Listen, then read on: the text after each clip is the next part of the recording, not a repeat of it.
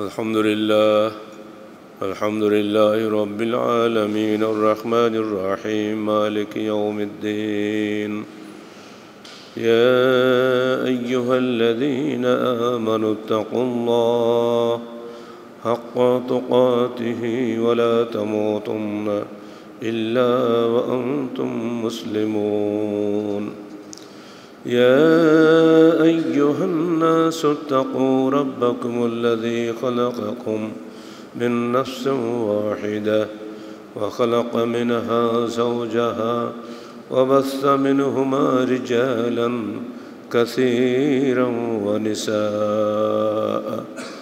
واتقوا الله الذي تساءلون به والأرحام.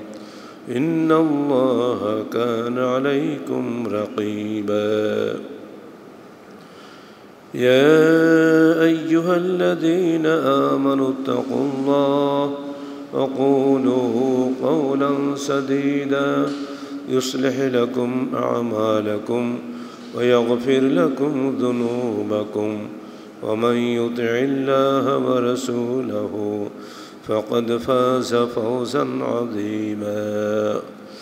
أما بعد فقد قال الله تعالى في الكلام المجيد فأعوذ بالله السميع العليم من الشيطان الرجيم. بسم الله الرحمن الرحيم. يوم يتذكر الإنسان ما سعى وبرزت الجحيم لمن يرى.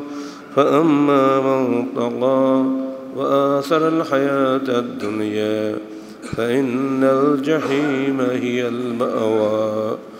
وأما من خاف مقام ربه ونهى النفس عن الهوى فإن الجنة هي المأوى. সুরা নাজিহাত ছত্রিশ থেকে চল্লিশ আয়াত। যাবতীয় হামদ সানা আল্লাহ রব আলমিনের জন্য এবং যাবতীয় দরুদ সালাত শেষ নবী মোহাম্মদ রসুল্লাহ সাল্লাহ আলহি আসাল্লামের জন্যে। মাত্র গত সোমবারে আমরা ঈদুল আজহার খুদ্ শুনলাম। আজকে আবারও সাপ্তাহিক ঈদের দিন এমুল জুমার খুদ্া আল্লাহ পাক যদি এই বিধান না রাখতেন আমাদের জন্য, মুসলিম উম্মাহ কোরআন ও হাদিসের বক্তব্য শোনা থেকে চিরদিনের জন্য বঞ্চিতই থাকত। এই নিয়ামতের সুক্রিয়া আদায় করার কোনো শেষ নাই। আল্লাহ পাক যে আমাদেরকে সুস্থ হালতে, সুস্থ দেহে, সুস্থ মন নিয়ে আল্লাহ পাকের গৃহে সমবেত হওয়া তৌফিক দান করেছেন। এজন্য আমরা সবাই আল্লাহ পাকে সুক্রিয়া আদায় করি বলি আলহামদুলিল্লাহ। আল্লাপাক এখানে একটা মৌলিক বিষয় আমাদেরকে বলেছেন। প্রত্যেকটা মানুষ প্রতি মুহূর্তে নিজের নফসের সঙ্গে যুদ্ধ করছে। এই যুদ্ধে বিজয়ের বা সৌভাগ্যের পথ কি? প্রতিটি মানুষের মধ্যে যুদ্ধ আছেই। ফেরেস্তাদের মধ্যে এটা নাই। কারণ তাদের পেট নাই। তাদের মধ্যে ভালোটাই শুধু আছে, মন্দটা নাই। ফেরাউন যখন জিজ্ঞেস করল, মূসাকে, তোমার রবের পরিচয় কি? তিনি জবাব দিয়েছিলেন লাজি খালাকা কুল্লা সৈয়দ সুম্মা হাদা। যিনি সকল বস্তু সৃষ্টি করেছেন, অতপর তার পথ প্রদর্শন করেছেন। এই হেদায়তটা হল হেদায়তে খালকিয়া। প্রকৃতিগত হেদায়ত, সৃষ্টিগত হেদায়ত। গরুকে আল্লাহ সৃষ্টি করেছেন মানুষের খাদ্যের জন্য। উটকে সৃষ্টি করেছেন রিজিক হিসাবে। এই বিশাল শক্তিশালী জীব মানুষের সামনে পড়ে যায়, জবাই হয়। কিন্তু সিংহ একটা গরু চেতে অর্ধেকও নয়। সে কিন্তু মানুষের সামনে নত হয় না, বরং মানুষকে উল্টা কামড়ি শেষ করে দেয়। অল্পদিন যা আল্লাহ হ্যাঁ আল্লাহ বলছেন, আমি এদেরকে করেছি তোমাদের প্রতি অনুগত রূপে। যদি ফিতরাতটা আমি বিদ্রোহী ফিতরাত করে দিতাম, তোমরা কখনোই গরু, উট খাতে পারতে না। এগুলো সবই আলামা রাজাক আকুমেন বাহিমাতুল আনআম। চতুষ্পদ গবাদি পশুর মধ্য থেকে আল্লাহ তোমাদের রিজিক নির্ধারণ করেছেন। তাদের প্রত্যেকে এক একটা হেদায়ত আছে। গরু ঘাস খাবে, কুত্তা কিন্তু ঘাস খাবে না। পাখি উড়িয়ে বেড়াবে, অন্য কিছু কিন্তু উড়বে না। মুরগির বাচ্চা মায়ের পেট ডিম থেকে বেরিয়েই কুকুকে ডাক দিয়ে দৌড়াবে। মানুষের বাচ্চা কিন্তু দৌড়াবে না।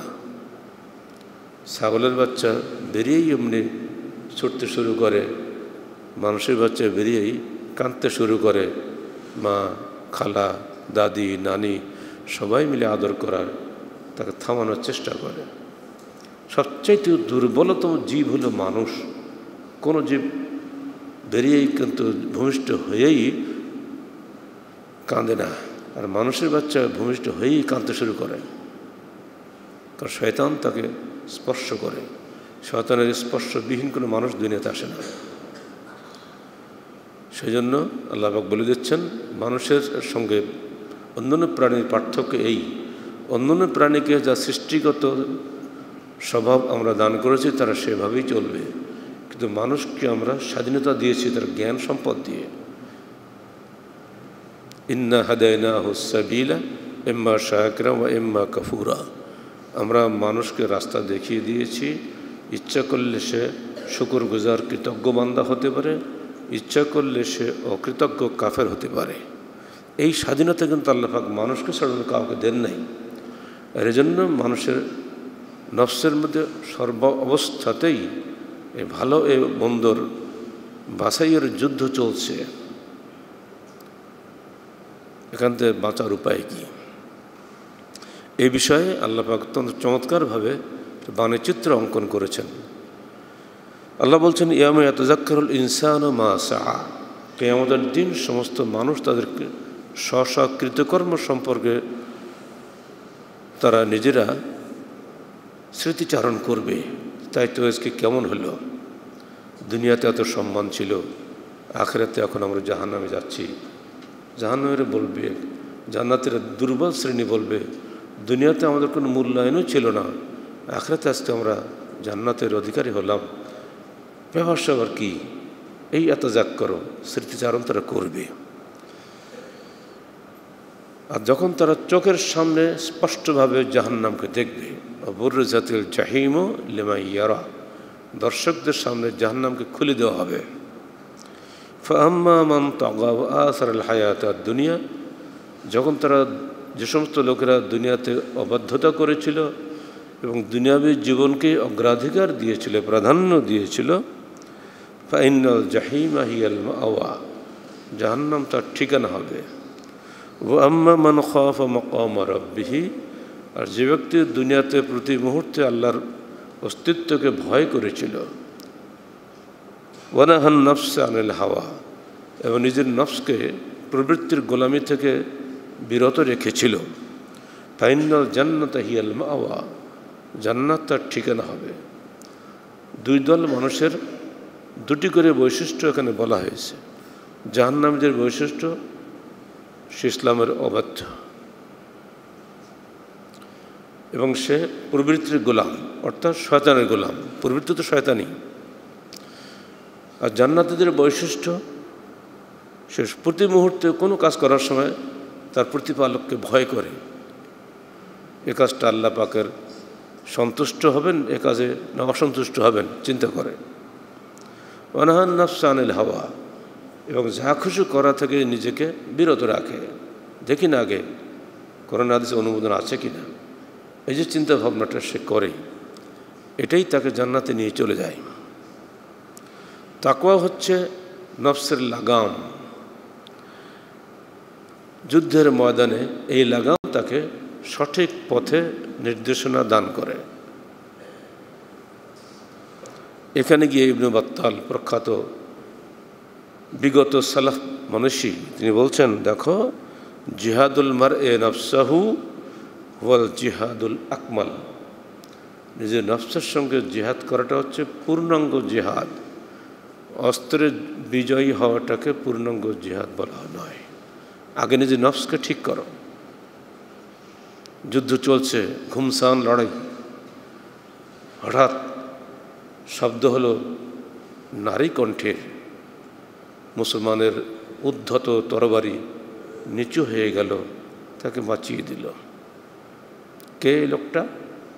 যিনি সদ্য ইসলাম কবুল করেছেন, মদিনার ইবনু দাসিনা। কেন তুমি বিরত হলে মানে বলছেন দেখলাম ওটা নারী কণ্ঠ। পরে বুঝলাম ওটা বিরোধী দলের সেনাপতি আবু সুফিয়ানের স্ত্রী হিন্দা। তাহলে তো ভালোই হতো ওকে মারলে। না, ইসলাম নারীকে হত্যা করা নিষিদ্ধ করেছে। আল্লাহ পাক আমাকে কেমতের দিন জিজ্ঞেস করেন, তুমি নারীকে কেন মারলে? আমি কি জবাব দেব? প্রচণ্ড যুদ্ধের মধ্যেও যে ব্যক্তি এইভাবে নিজেকে দমন করতে পারে সেটা কে? শুধুমাত্র আল্লাহ ভীতি, আর কিচ্ছু না। আম্মান হাওয়া। যে প্রতি মুহূর্তে আল্লাহর অস্তিত্বকে ভয় পায় ও নিজের নফসকে দমন রাখে। একে চারটিখানি কথা নাকি? অন্য সময় অনেক কিছু করা যায়। যুদ্ধের মধ্যে যে আমাকে মারতে আসতেছে, আমি তাকে মারছি না। নারী বললে এটা সত কথা মনে করবেন না। হুনায়নের যুদ্ধে আল্লাহ রসুল যখন যুদ্ধের পরে ঘুরছেন চারদিকে, হঠাৎ একটা নারীর লাশ দেখলেন। ভীষণভাবে ক্ষিপ্ত হলেন। কে মারল একে? আসামি তো পাওয়া সম্ভব না, যুদ্ধের মধ্যে কে কাকে মেরেছে কি হিসাব রাখে। কঠোরভাবে নিষেধ করলে খবরদার, কোনো নারী বা শিশুকে হত্যা করবে না। যুদ্ধে হার জিত আল্লাহর হাতে, তরবারের হাতে নয়। ইসলাম এটা মানুষকে শিখিয়েছে। সুযোগ পেয়েও তারা সামনে বাড়েনি। যে তিনজন যুবক ঘন ঘটা ঝড় বৃষ্টির মধ্যে পাহাড়ের গুহায় আশ্রয় নিয়েছিল, বড় একটা পাথর ধসে এসে ওই গুহার মুখ বন্ধ করে দিয়েছিল। অত্যন্ত প্রসিদ্ধ হাদিসটার মধ্যে তিনজন যুবক যখন বুঝলো যে আমাদের মুক্তির কোনো উপায় নাই, সর্বশক্তি দিয়েও পাথরকে সামান্য নড়াচড়া করানো যায়নি, তারা বুঝলো আমাদেরকে অবশ্যই মরতে হবে। কারণ কেউ জানছে না যে আমরা এখানে আটকে আছি, কেউ আমাদের সাহায্য করবে না। অতএব হে বন্ধুরা, তোমরা জীবনে কে কট্টক সৎকর্ম করেছ, একটা একটাকে বলার চেষ্টা করো, চিন্তা করো, দেখো জীবনে কোনো ভালো সৎকর্ম করেছ কি না তিন বন্ধু, তিনটা সৎকর্মের দোহাই দিয়ে আল্লাহ পাকের নিকটে প্রার্থনা করলেন। প্রথম বন্ধু বলল, আমি আমার নিজের সন্তানদের চাইতে, স্ত্রী কন্যাদের চাইতে আমার বাপ মার আনুগত্যকে অগ্রাধিকার দিয়েছিলাম। সারাদিন মেষ চড়িয়ে অন্যের বাড়িতে কামলা খেটে যে মজুরি পেয়েছি, তাই দিয়ে দুধ নিয়ে এসেছি। এসে দেখি আব্বা আম্মা ঘুমিয়ে গেছেন, বৃদ্ধ বাপ মা। আমার বাচ্চারা আমার পায়ের কাছে হুমড়ি গিয়ে পড়ছে, আব্বা, খাবার দাও, দুধ দাও। স্ত্রী বলছে, বাচ্চাদের আগে বাঁচাও। আমি বললাম, না, যে বাপ মা রসিলে আমি দুনিয়াতে এসেছি, আমি আজকে বাপ মা হয়েছি। বাপ মাকে ক্ষুধার্ত পিতামাতা না খেয়ে ঘুমিয়ে আছে, তাদেরকে না দিয়ে আমি খাওয়াতে পারি না। সকাল হয়ে গেল। বাপ মা ঘুম থেকে উঠল। কি বাবা, হাতে দুধের পাত্র? বাচ্চাদের খাওয়া নেই আপনারা জানান যে, দাদা, দাদিদের দারুণ স্নেহ। পোতা নাতিদের প্রতি। ওদেরকে খাওয়ানি, ধমক দিয়েছে। ছেলে বলছে, আব্বা, আপনাকে না খাইয়ে ভাই বাচ্চাদের খাওয়াবো? বাপ মা বুঝলো না, ছেলে কথা শুনবে না। দুধ খেলেন, নিজ হাতে নাতি বুঝদের খাওয়ালেন। আল্লাহ যদি শুধুমাত্র তোমার ভয়ে আমি এ কাজ করে থাকি। আজকে এই মহা বিপদ থেকে তুমি আমাদেরকে বাঁচাও। সঙ্গে সঙ্গে পাথরটা একটু সরে গেল। কিন্তু এত সরে নেই যা দিয়ে মানুষটা একটা বের হতে পারে। আর তুমিকে বলা হলো, কি তুমি কি জীবনে কোনো সৎকর্ম করনি? অনেকক্ষণ চিন্তা করে বলে হ্যাঁ আমিও তো সৎকর্ম করেছি। কি বলো তো? বলল, যে আমি একজনকে কামড়া রেখেছিলাম বাড়িতে কিন্তু ওই লোকটা মজুরি না নিয়ে চলে গেছে। কিন্তু তার মজুরি আমার কাছে পাওনা ছিল।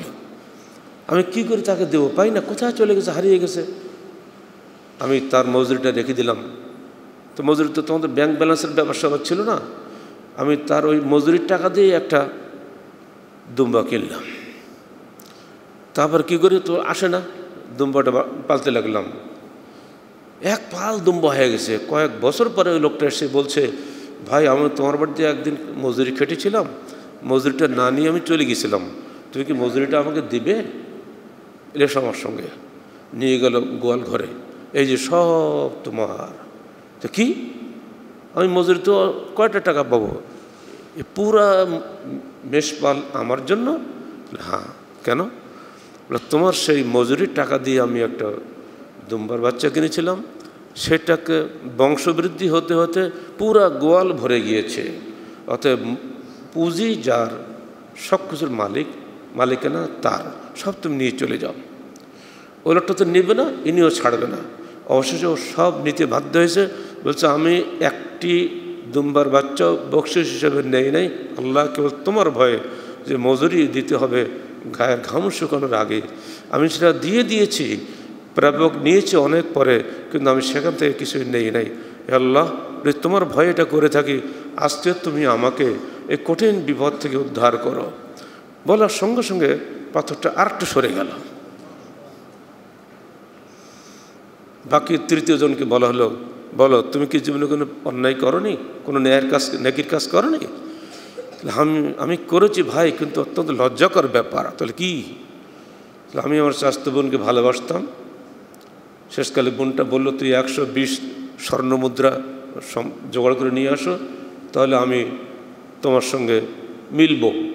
ও এক, অনেক কষ্ট করে করে একশো বিশটি স্বর্ণমুদ্রা রোজগার করেছে।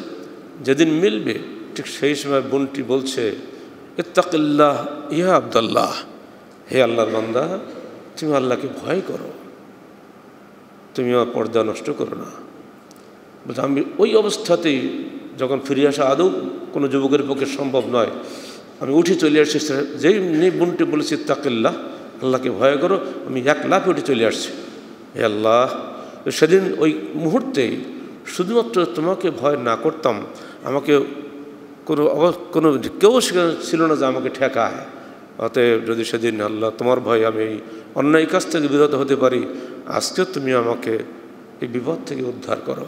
সঙ্গে পাথরটা পুরো সরে গেল। তিন ভাই বেরিয়ে, তিনটা বন্ধু বেরিয়ে চলে আসলো। বোখারি, মুসলিমের সহি আদিসে এই ঘটনা বর্ণিত হয়েছে। এটা দিয়ে বোঝা যায়, নিজের নফসের বিরুদ্ধে যুদ্ধ করার এক নম্বর হাতিয়ার হচ্ছে আল্লাহ ভীরুতা তাকোয়া এর বাইরে অন্য কিছুই নয়। পুলিশ, বিডিআর, এগুলো দুনিয়াবি ব্যবস্থাপনা। এগুলো মানুষের অন্তরে ভয় সৃষ্টি করে না। মানুষের অন্তরকে সংশোধন করে শুধুমাত্র আল্লাহ ভীতি। আর এইগুলো বিষয়ে দেখলে অত্যন্ত গুরুত্বের সঙ্গে চিন্তা করা উচিত। রসুলদের জীবনের, সাহাবিদের জীবনের, পরবর্তী জীবনে আসুন তাবিদের জীবনে। সাহাবিদের জীবনে দেখেন ওমরের একটা ঘটনাকে শুনে রাখেন। ওমর হাসান মদিনার রাজধানীতে, আর সুন্দর আছে বহু দূরে, উনি জুমার খতবা দিচ্ছেন। খতবা দিতে দিতে হঠাৎ করে বলে বসে, ইয়া সারিতা জবল, হে সারিয়া। মানে যে সেনা দল উনি পাঠিয়েছেন সেনাপতির নাম হচ্ছে সারিয়া। তিনি ওখান থেকে নির্দেশ দিচ্ছেন, পাহাড়ের পিছনে পিছিয়ে এসো, পাহাড়ের পিছনে আশ্রয় নেও। আর জবল অর্থ পাহাড়। উনি কী করে দেখলেন, তার সামনে তো কিছু ছিল না। পরবর্তীকালে তার বিজয়ী বেশি ফিরে এলো রাজধানীতে। এসব কীভাবে তোমরা জয় করলে? হে খলিফা, আমরা তো যুদ্ধে হেরেই গেছিলাম। কোন দিন যাব বলতে পারি না। কি মানে শেষ হয়ে যাচ্ছি। হঠাৎ একটা গায়েবী আওয়াজ আসলো, ইয়া সারি জবাল ইয়া সারি আল জবাল হে সারিয়া পাহাড়ের পিছনে আশ্রয় হে সারিয়া, পাহাড়ের পিছনে আশ্রয় নাও। আমি এই গায়েবী খবর শুনে কী আর করব? দিগ্বিদিক জ্ঞান শূন্য অবস্থায় চলে গেলাম পাহাড়ের পিছনে। পুনরায় শক্তি সঞ্চয় করে আবার যুদ্ধ শুরু হলো। আমরা জিতে গেলাম। বিজয় দিবসে আজকে মদিনে আসছি। এগুলো একদম বাস্তব ঘটনা, বহু আছে এরকম। এটা আপনারা একদিন শুনেছেন। রসুলের পরবর্তীকালে সাহাবেদের সেনাবাহিনী থেকে একজন দলছুট সৈন্যকে কীভাবে একটা বাঘের আশ্রয় বেঁচে গেছিল? যে বাঘ তাকে খেতে আসছে, আর উনি বলছেন, দেখো হে বাঘ, তুমি তুমি যা সৃষ্টি, আমিও তার সৃষ্টি। তুমি যে রসুলের উম্মত, আমিও সে রসুলের উম্মত। আমি আমার রসুলের একজন সাহাবি। পথ হারিয়ে ফেলেছি জঙ্গলে। আমার সেই বাহিনী কোন দিকে গেছে খুঁজে পাচ্ছি না। তুমি কি আমাকে পথ দেখাতে পারবে? সেই উদ্ধত বাঘটি, হিংস্র বাঘটি খাওয়া বাদ দিয়ে তখন গা ঘেঁষতে শুরু করল। এবার আস্তে আস্তে সামনে হাঁটতে হাঁটতে নিয়ে গেল, ওই দূরে দেখা যাচ্ছে, সেনাবাহিনী যাচ্ছে। এবার ইঙ্গিত দিয়ে বুঝে ওখানে যাও, ওই তোমার সেনা গায়ে চলে গেল সে সেখানে। এই যে সন্ধ্যাটা বাঘ পর্যন্ত আল্লাহর রসুলকে এবং তার উম্মতকে যারা বিশুদ্ধ আকিদা আমলের অনুসারী, তাদেরকে সহযোগিতা করে থাকে। মূলত আল্লাহ তাকে সাহায্য করেছেন। বাঘ একটা বান্দা, একটা সৃষ্টি তার মাধ্যমে মূলত সাহায্য আল্লাহই করেছেন। ওমায়া আলম জুনুদ রাব্বিকিল্লা হুয়া। আল্লাহর সেনাবাহিনী যে কত, আল্লাহ ছাড়া কেউ জানে না। নিঃসন্দেহে বাঘ আল্লাহর সেনাবাহিনীর একটা অংশ। তাই হিংস্র বাঘও একজন ইমান, ইমানদার মানুষকে সাহায্য করে। হিংস্র বাঘ ভল্লুক কেন? যে কোনো বস্তু আল্লাহর হুকুমে ইমানদার মানুষকে সহযোগিতা করে থাকে। এগুলো সেই হাদিসের ঘটনাগুলো আপনারা শুনলে ইমান বৃদ্ধি পাবে। আসুন পরবর্তীকালে তাবিদের জামানায় মালিক ইবনে দিনার। একশো তিরিশ হিজড়িতে মৃত্যু। উনি যখন বাজারে যান, বাজারে গিয়ে যে সমস্ত বস্তু দেখলে কিনতে ইচ্ছা করে, কিন্তু উনি কিনেন না। উনি তো নিজের নফসকে বলেন, হে নফস, তোমার সম্মানের খাতিরে আমি ওইটা খরিদ করা থেকে নিজেকে বিরত রাখলাম। আল্লাহ পাক আমার যতটুকু দিয়েছেন, এতটুকুতেই আমি সন্তুষ্ট। কারণ আজকে তুমি আমাকে উৎসাহিত করছ ওটা কেনার জন্য। কিন্তু কেমতের দিন তুমি আমার ধারা থাকবে না। তখন আমারই তাকোয়া আমাকে বাঁচাবে জাহান্নামের আগুন থেকে। প্রতিটি ক্ষেত্রে এমনি করে যখন মানুষ আল্লাহ ভীতিকে অগ্রাধিকার দেয়, আল্লাহ তখন দায়িত্ব হয়ে যায়। এ বিষয়ে একটা চমৎকার উদাহরণ দিয়ে আল্লাহ রসুল বলছেন, দেখো, মানুষ যখন ইসলাম কবুল করে, তখন শয়তান তার পিছনে বসে যায়। সে কী বলে? সে বলে, তুমি ইসলাম কবুল করবে? আর তোমার বাপদাদা চোদ্দ বছর ধর্ম ত্যাগ করবে? লোকরা তো তোমাকে বিধর্মী বলবে। এইভাবে তো নিজেকে ধ্বংস করবে?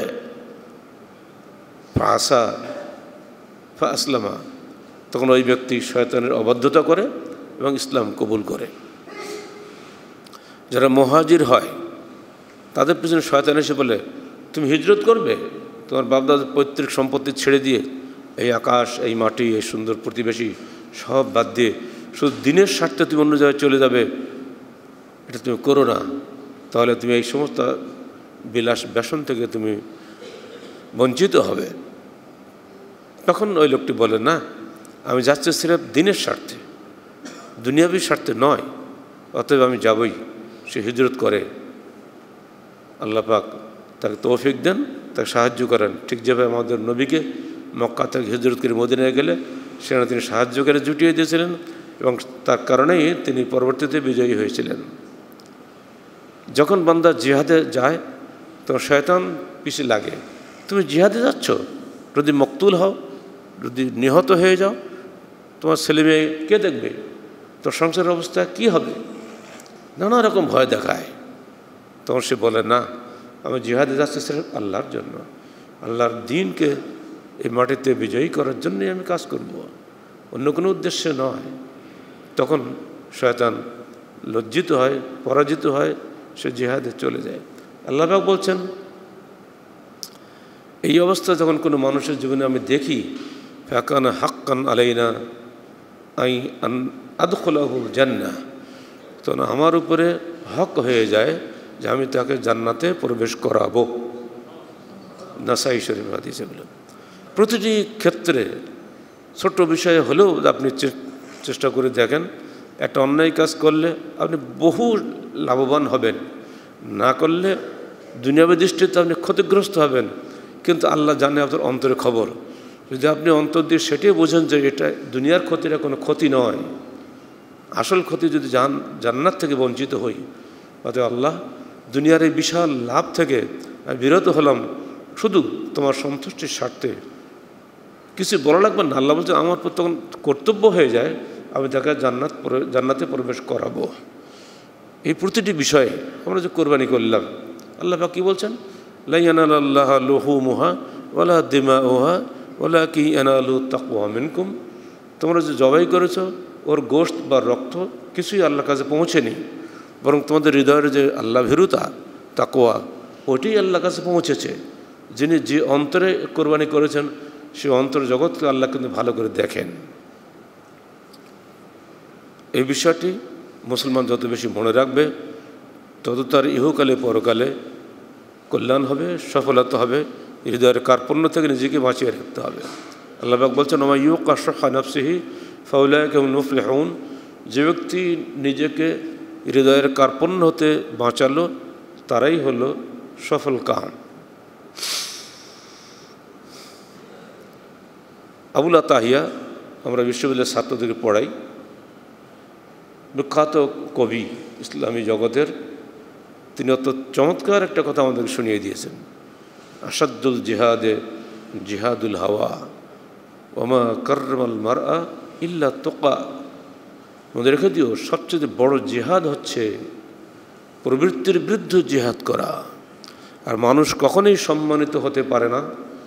যতক্ষণ সে প্রবৃত্তির বিরুদ্ধে বিজয়ী না হয়, প্রত্যেকের মধ্যে প্রবৃত্তি আছে। আর আল্লাহ প্রত্যেকটার ব্যাপারে পথ দেখিয়ে দিয়েছেন কোনটা ভালো, কোনটা মন্দ। ভালোটাকে গ্রহণ করা, মন্দটাকে বর্জন করার মতো মানসিকতাকেই তাকে বলা হয়। এটা খুব কঠিন। কেউ আপনাকে লাঠি মারবে না না করলে কেউ যায় আসে না। কিন্তু করতে পারলে আপনি ইহকালে বিজয়ী, পরকালেও বিজয়ী। যখন ওমর ফারুক খলিফা হলেন অবকার সিদ্দিক তাকে যে নসিহাতটা করেছিলেন, প্রথম নসিহাত সেটা কি? আউ্ল মা হাজরকা নফসাকা আল্লাতি বাইনা জম্বাইক। হে ওমর আমি তোমাকে প্রথম ভয় প্রদর্শন করছি নফসের তাবেদারি করা থেকে, যেটা তোমার দেহের মধ্যেই আছে, বাইরে নয়। উনি যখন এই ওসিয়াত করেন, সাহাবিদের পরামর্শ নেন, একজন বলেছিলেন, হে আবুবাকার ওমর অত্যন্ত রাগী মানুষ। ওনাকে খলিফা করলে সমস্যা হতে পারে। আবুবাকার বলেছিলেন, যখন তার উপরে খেলাফতের গুরুদায়িত্ব চাপানো হবে, তখন তার রাগ কমে যাবে সে সে নিজেকে দমন করা শিখবে। আর সেই কারণেই প্রথম নসিহাতটা করলেন ওমরকে ওয়াহাদ্রোকা নফসাক, আমি তোমার নফস থেকে তোমাকে ভয় প্রদর্শন করছি। সাবধান, যেন প্রবৃত্তির গোলামি করো না। ওমরের সারাটি জীবন এই একটা নসিহত কাজ করেছে। যখনই তার সামনে এসেছে এমন অবস্থা, তিনি নিজেকে বিরত রেখেছেন। দুই মহিলা মারামারি করেছে।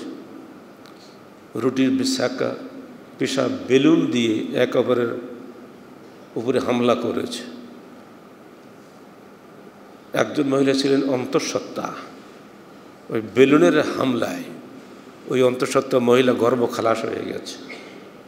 ওমরের দরবারে বিচার আসলো। ওমর চিন্তা করলেন, ও তো খালি ওই মহিলাকে মেরেছে, কিন্তু পেটের বাচ্চাটা মেরে ফেলেছে। অতএব ও হত্যার আসামি হবে। মহিলা মরেনি, অর্থাৎ বাচ্চার মা মরেনি, বাচ্চাটা মরে গেছে। অতএব হত্যার আসামি কেসাস নিতে হবে ওর কাছ থেকে।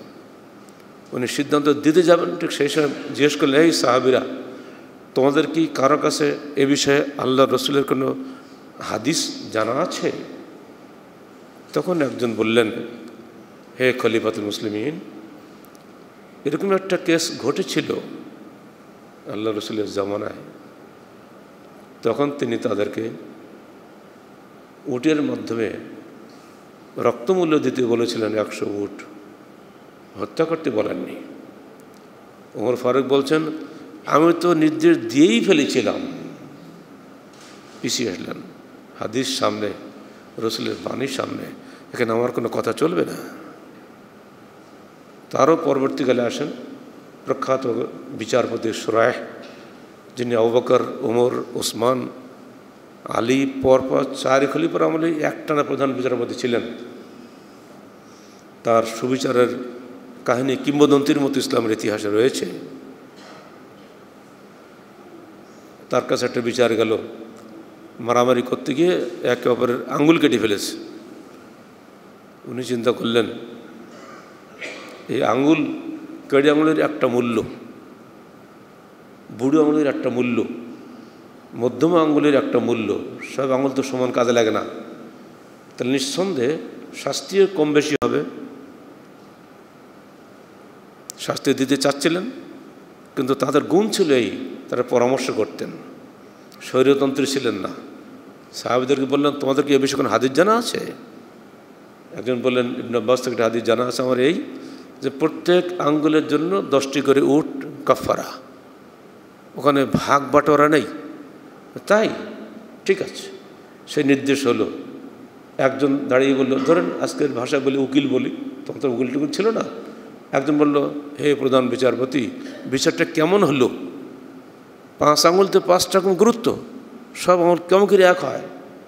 উনি ধমক দিয়ে বলেন তবে ওলা তপ্তাদে খবরদার। অনুসরণ করো, বেদাতে হয়েও না। রসুলের নির্দেশ পাওয়ার পরে কোনো চিন্তা ভাবনা কল্পনা চলবে না। তবে অনুসরণ করো ওলা তপ্তাদে বেদাতে হয়েও না। কঠিন ধমক। এখন আমরা মন যা চাই তাই করব, নিজের মনের পক্ষে করোনাদের উল্টো পাল্টা ব্যাখ্যা করব। তাদের উল্টা, হাদিস আগে, নিজেদের সিদ্ধান্ত পরে।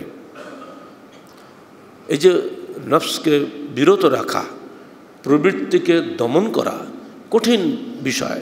প্রধান প্রচারপতির আসনে বসে এই ধরনের প্রমাণ পৃথিবীর ইতিহাসে আছে কিনা সন্দেহ? ভারতের সুপ্রিম কোর্ট নির্দেশ দিল হ্যাঁ যদি পুরুষে পুরুষে জেনা করে, এটা হবে, কারণ ব্যক্তি স্বাধীনতা সব আগে। জি না? আমেরিকার ইতিহাসে বলছে, মেয়েরা যদি গর্ব খালাস করে, চলবে। তারা গর্ভপাত আইন পাশ করে দিল। কারণ তাদের সামনে অহির হেদায়ত নাই, আল্লাহর বিধান নাই। তারা নিজের মন যেটা বলে, ওটাকেই অগ্রাধিকার দেয়। মেজরিটির বিচারপতি একদিকে হয়ে গেলে, ওটা ফাইনাল হয়ে গেল। সক্রেটিসকে যারা মারল, পাঁচশো পঁচিশ জন জুরি একসঙ্গে বসল। পাঁচশো পঁচিশ জনের বিশাল একটা জ্ঞানী দল। অধিকাংশ রায় অনুযায়ী সক্রেটিসকে হত্যা করার নির্দেশ হলো।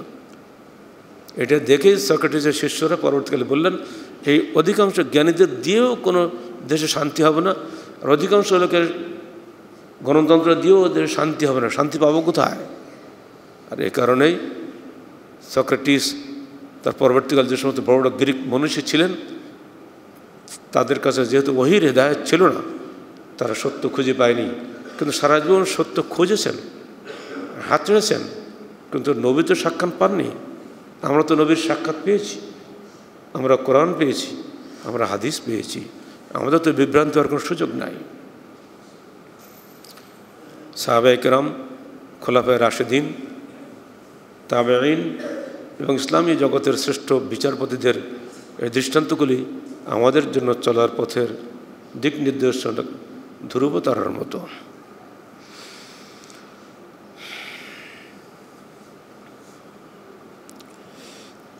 আত্মসংশোধনের হাতিয়ার কি কি? প্রত্যেকে আমরা চাই আত্মসংশোধন করব। কীভাবে করবেন? স্বার্থ আপনাকে দ্বন্দ্ব, প্রতি মুহূর্তে স্বার্থ আপনাকে দাগা দিবে। এই, এটা করো না করলে এই ক্ষতি হবে। এখানে মৌলিকভাবে কিছু পন্থা আছে। এক, সবর করা। সবরের ব্যাখ্যা হচ্ছে তিন ভাগে বিভক্ত সবর। বিপদের ধৈর্য ধারণ করা। অন্যায় কাজ থেকে বিরত থাকা। আর সৎ কাজের উপরে দৃঢ় থাকা, এ সবর তিন ভাগে বিভক্ত। এর মধ্যে আল্লাহর আনুগত্যের উপরে টিকে থাকাটাই হচ্ছে এক নম্বর। বিপদের ধৈর্য ধারণ সবাই করে। ওটা এক নম্বর নয়, এটা সাধারণ। মুসলিম, অমুসলিম সবাই করে, বাপ মরে গেলে তো ফিরি পাওয়া যাবে না। অতএব একটু কাঁদলাম। তিন দিনে বেশি কান্দাকাটি করা যাবে না, শোক চলবে না। ইসলামের বিধান একদম।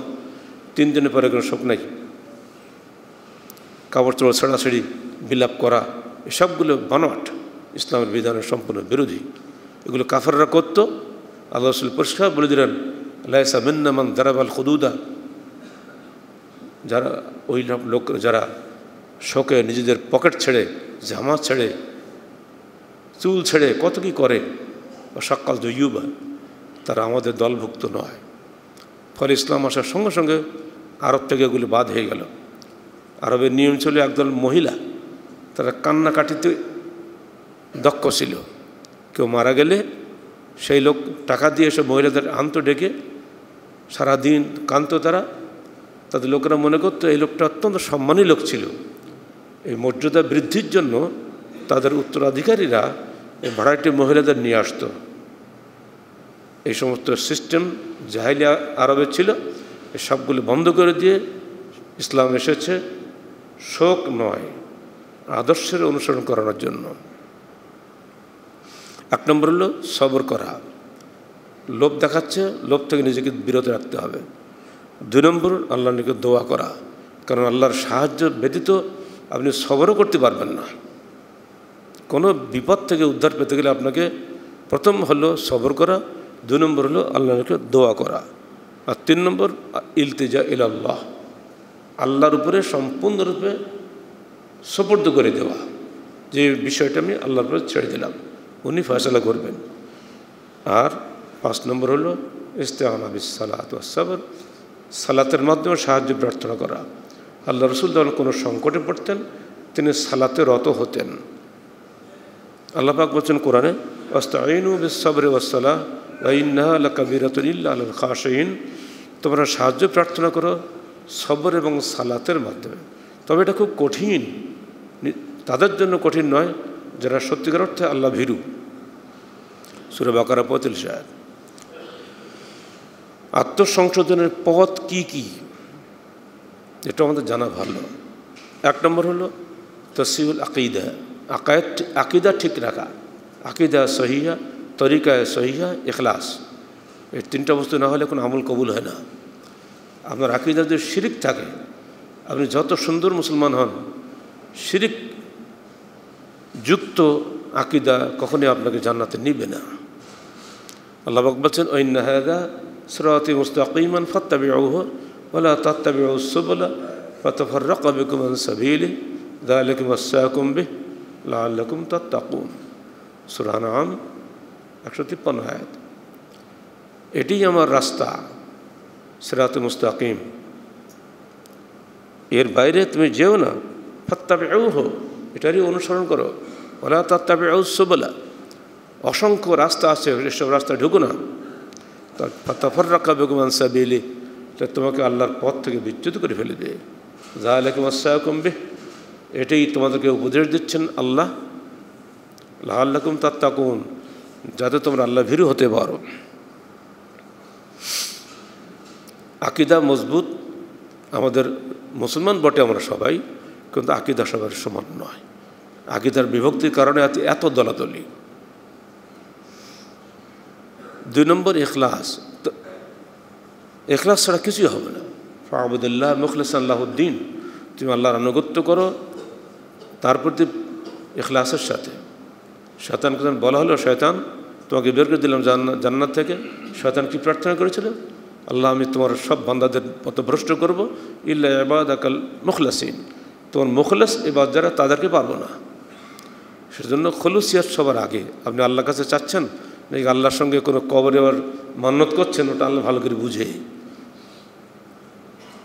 কবরও খুশি আল্লাহ খুশি। দুতাল করা দুদল বান্দাকে আল্লাহ করেন না। তিন নম্বর হচ্ছে, যাবতীয় বেদাত থেকে দূরে থাকা। আল্লাহ রসুল ফজরে পরে সবাইকে নসিহাত করছেন। সাহাবেরা বললেন, হে আল্লাহ রসুল, এটা বোধ বিদায়ী নসিহাত মনে হচ্ছে। আপনি আমাদের আরও নসিহাত করুন। তিনি বললেন, দেখো ওসিকুম আল্লাহ আমি তোমাদেরকে নসিহাত করছি আল্লাহ ভীরুতার অসামে অত্তা তোমাদের আমিরের আদেশ শোভন করা এবং আনুগত্য করা। অয়াকুম মহদাসাতের আলাইকুম এরপরে বলা হচ্ছে, দেখো, তোমরা আলাইকুম সুন্নতে সুন্নতে খোলাফায় রাশেদিন আল মাহাদিন তোমাদের উপরে অপরিহার্য করা হলো আমার সুন্নত এবং খোলাফের রাশেদিনের সুন্নতের উপরে আমল করা। অয়াকুম মহদাসাতুল উমুর। আর নতুন নতুন উদ্ভূত বিষয়গুলো থেকে বেঁচে থাকো। ফাইনাকুল্লা মহদাসাতে বিদা ইসলামের নামে যত কিছু নতুন নতুন কথা তোমরা শুনবা এই সবগুলো বিদাত আব্দুল হেবিন নওয়াজেস আমার সুন্নতগুলো তোমার মাড়ির দাঁতে কামড়ে ধরবে। আখিরি জমানায় বসবাস করছি। ধর্মের নামে অনেক কিছুই ঘটছে। যেটাই আসুক না কেন, যত বড় মানুষই বলুন না কেন আপনার দেখার বিষয় একটা এই কাজটি আমার রসুল করেছেন কিনা, অথবা খোলাফা রাশেদিন করেছেন কিনা, এর বাইরে কোনো মানদণ্ড নাই। লক্ষ লক্ষ মানুষ করছে, তার কি কিছুই বুঝে না, এটা শয়তানি দলিল। এই কথা তো কাফাররাই বলেছে চিরদিন নবীদেরকে, দুনিয়ার কেউ আপনার কথা না মানুক, আপনাকে দেখতে হবে, আপনার রসুল এটা করেছেন কিনা সাহাবেকরাম এটা করেছেন কিনা? পর রাশিদিন কথা এসে হাদিসে, সব সাহাবিদের কথা বলা হয়নি। আর সাহাবিকার নজুম ভাবে এই মেক্তদা তুমি এটা দেয় তুম যে হাদিস আমাদেরকে পড়ানো হয় মাদ্রাসায়, এটা একদম ভুয়া। তোমাদের জন্য আমার আমার সাহাবিগণ হচ্ছেন নক্ষত্র তুল্য যে কোনো সাহাবির অনুসরণ করবে, তোমরা হেদায়ত পাবে, এই হাদিসটা জাল হাদিস। এটাই কিন্তু দিয়ে প্রমাণ করতে চেষ্টা করে রহবাদান করার দরকার নেই, কারণ ইবিন মসুদ রহবাদান করতেন না। অনেক কিছু বানোয়াট কথাবার্তা আছে। আলাইকুম সুন্নতি সুন্নত খোলাই করে আসে দিন আল মাহাদিন পরিষ্কার হাদিস, তোমাদের উপরে আমার সুন্নত আমল করা এবং খোলাপের হাদিনের সুন্নত আমল করা অপরিহার্য করা হলো। অতএব সাবধানে পা ফেলতে হবে। সহি আকিদা, সহি তরিকা এখলাসে নিয়ত, তিনটা মৌলিক বিষয় যদি না থাকে, আপনি নিজেকে কোনো অবস্থায় প্রবৃত্তি থেকে বিরত রাখতে পারবেন না। তো প্রবৃত্তির সঙ্গে যুদ্ধ করা নফসের সঙ্গে যুদ্ধ করা এবং নফসের যুদ্ধে বিজয়ী হওয়ার অর্থাৎ সৌভাগ্যের পথই হচ্ছে এগুলি, যেগুলি আপনাদেরকে একটু পূর্বে বলা হলো। আল্লাহ পাক আমাদের সবাইকে স্ব প্রবৃত্তির বিরুদ্ধে বিজয়ী হওয়ার তৌফিক দান করুন। আকুল কৌলি হাজা আস্তাকুল আলী ওয়ালাকুম আলহ সাহারি মুসলিমিন।